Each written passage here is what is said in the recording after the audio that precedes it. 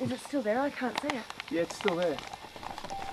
Yep, still there. It's just white, it's just sitting there. That glow right there, that mm. orb. That's fuck. That's bright. That's bright. That is bright. Hit it again, Evan. Hit it again. Still It's there. faded.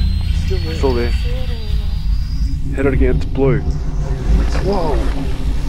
It is, it's there, it just comes in flashes. There it is. Got it. Have you got it on film? It, it won't pick it up, dude.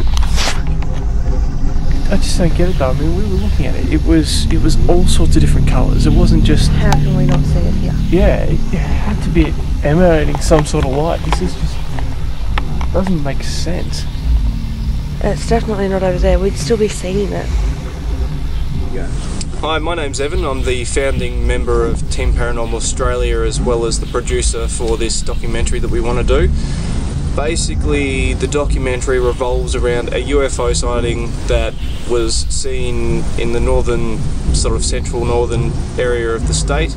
Uh, we can't disclose the location because the people that own the property that it was seen on would like to remain anonymous.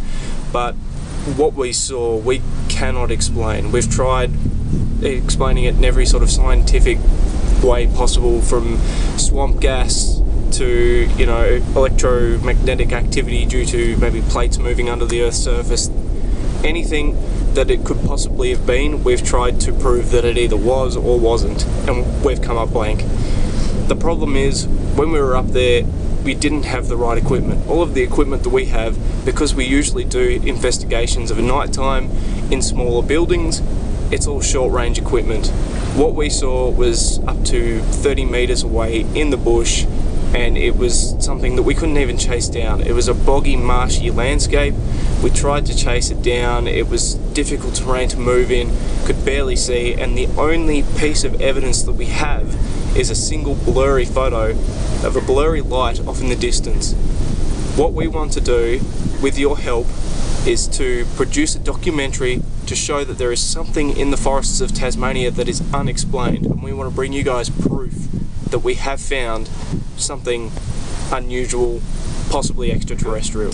Okay, so I'm Steve from Team Paranormal Australia. I'm the co-founder, and um, this documentary is um, that we want to produce is based on a, a, a strange object in the Central Highlands of Tasmania. It's something so strange that I, I think it was three or four months ago we were up there, or maybe a bit longer, and uh, it hasn't left my mind for all that time. It's um, it's something I think about every single day.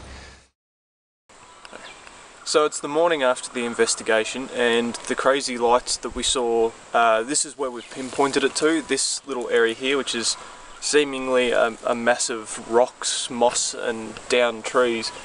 And we've ruled out most other options. Uh, not to say that it's not necessarily something natural, but this definitely warrants further investigation.